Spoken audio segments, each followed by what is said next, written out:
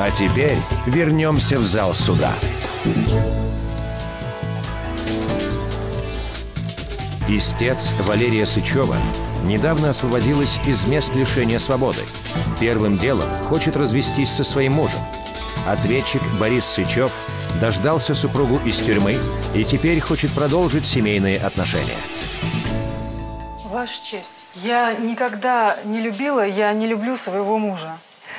Я замуж-то вышла чисто просто, даже не знаю как, потому что он меня безумно любил, и все вокруг твердили, что ты будешь дура, если не выйдешь, он тебя так любит, выходи за него. Мама его прибегала, на коленях падала.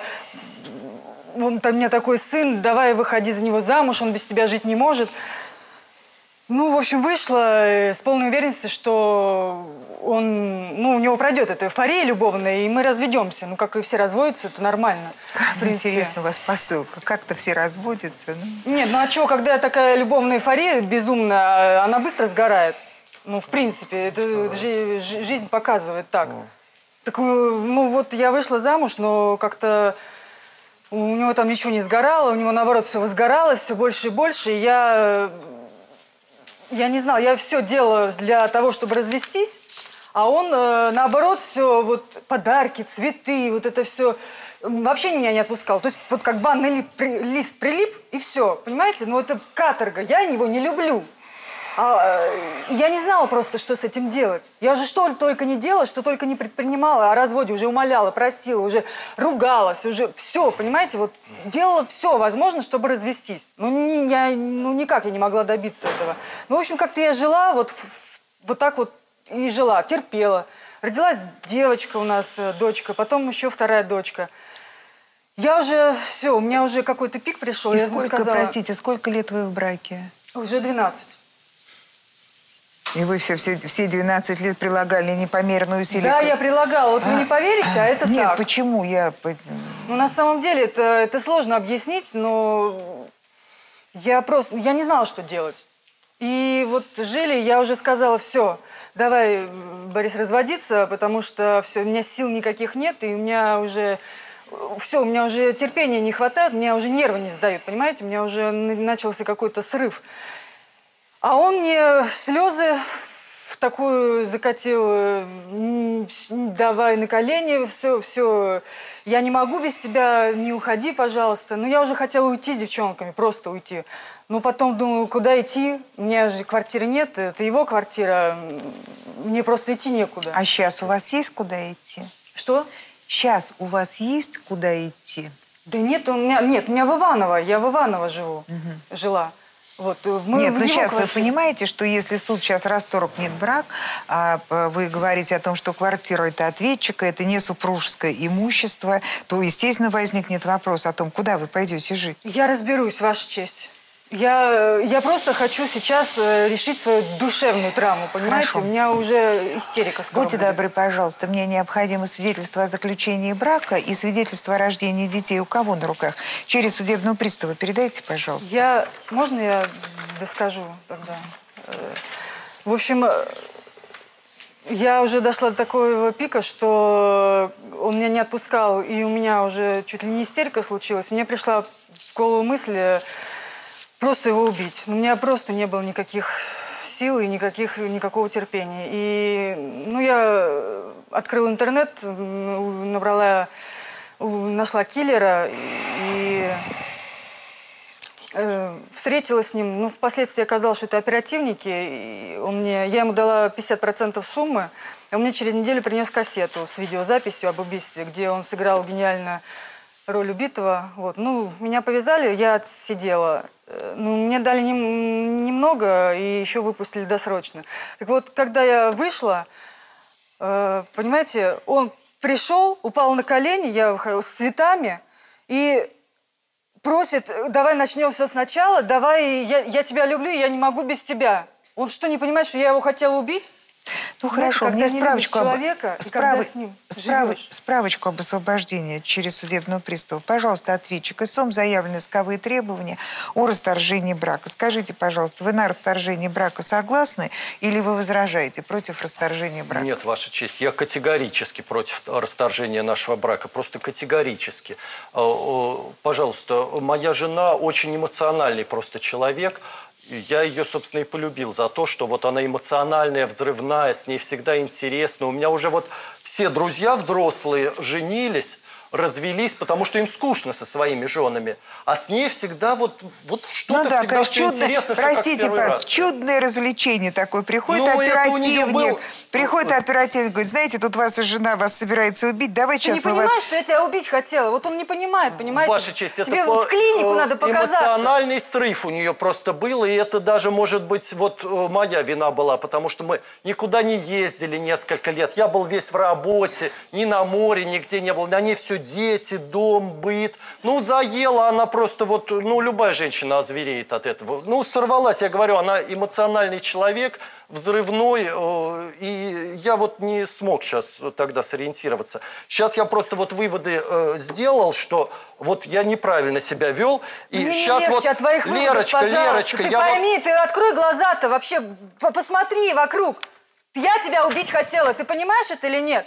Лерочка, Ты понимаешь, что я всё. тебя не люблю? Два Сколько раза, уже можно это два твердить? раза в одну воронку не падает ядро. Какую вот сейчас воронку? поедем, я купил путевочку в Геленджик. Какой Геленджик? Отдохнем Какой нормально, Геленджик? без детей, Ты без о чем всего. говоришь-то? И Какой у тебя все Геленджик? эти мысли даже из головы, ты вот через неделю даже не вспомнишь. Я Да не нет, могу, понимаете, я естественно. не могу жить с таким Простите, человеком. пожалуйста, истец и ответчик из того, что вы мне сейчас оба двое говорите. э, э, Понимаете, у меня ситуация такая, вы заставляете меня впасть в задумчивость. А вы э, знаете, если вам все рассказать, все, что Нет, было не надо мне жизнь. все рассказывать. Вы заставляете меня впасть в задумчивость по поводу судьбы ваших детей, потому что и ваша позиция, и позиция вашего мужа, она меня страшит. Ответчик-то как вы хотите сохранить семью? Расскажите мне. Ваша честь, ей-богу, у нас нормальная семья. Это у нее просто сейчас вот эмоциональный срыв такой. Мы воспитываем двух дочерей, нормально жили. О, Куда ты сейчас пойдешь с детьми? У тебя ни квартиры, ни работы, но не отдадут тебе детей. Все равно дети останутся со мной. Им какая вот травма будет э, потерять мать в такой ситуации? Ну что это такое будет? Что ты делаешь, Лер? Ну нельзя так, честное слово. Понятно, ответчик. Вы просили свидетеля с вашей стороны, Да. Свидетеля ответчика, пожалуйста, пригласите. Свидетели ответчика, пройдите.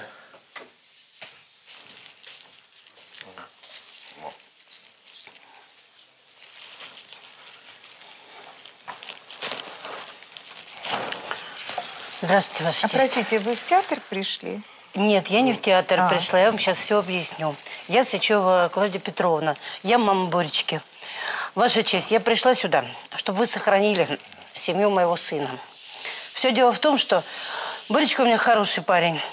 И Лерочка у нас умница, красавица. Вот Боря сюда шел, не успел цветы купить. Мне позвонил, говорит, мама, купи цветы. Вот я купила, привезла. Вы что, не понимаете, что я вашего сына хотела Так, ответчик, ответчик, верните эти цветы они маме, понимаете, пожалуйста. я- я- я не Ответчик, по- ответчик потом, верните цветы, пожалуйста. Истец, я вас уже выслушала, хватит. Пожалуйста, вы, если хотите где-то истерики устраивать, давайте это будет не здесь.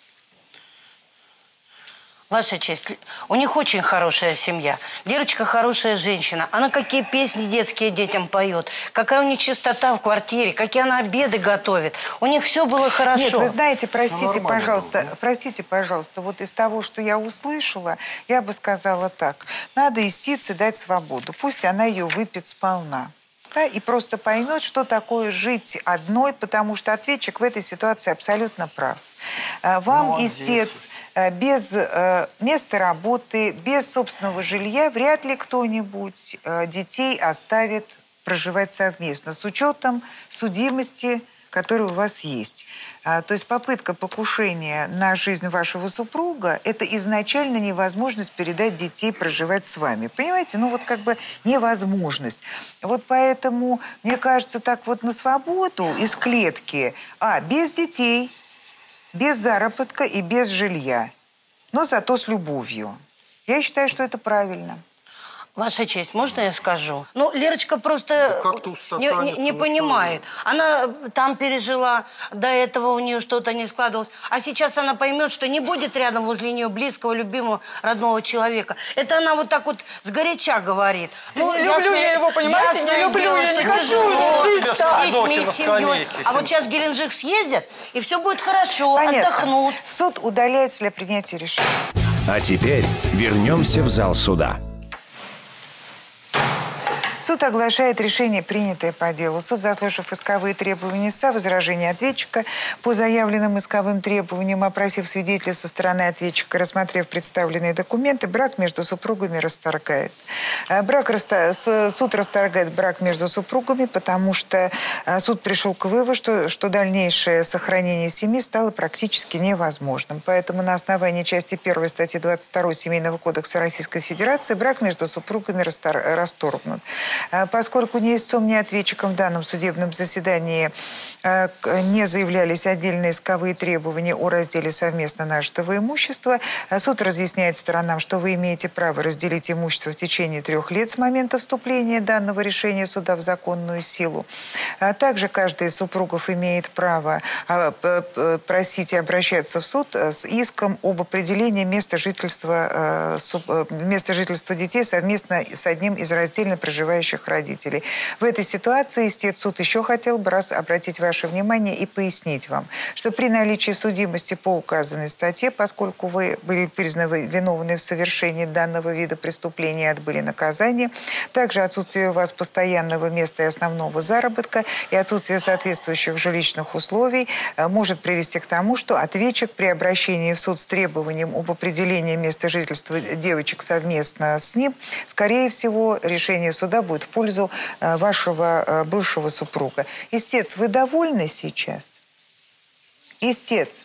А сейчас-то что вы плачете? Я не понимаю. Мне кажется, вы должны танец с бубнами тут нам изобразить. Вы получили, наконец, свободу. Сейчас-то что вы рыдаете? Скажите Почему мне. меня девочек заберут?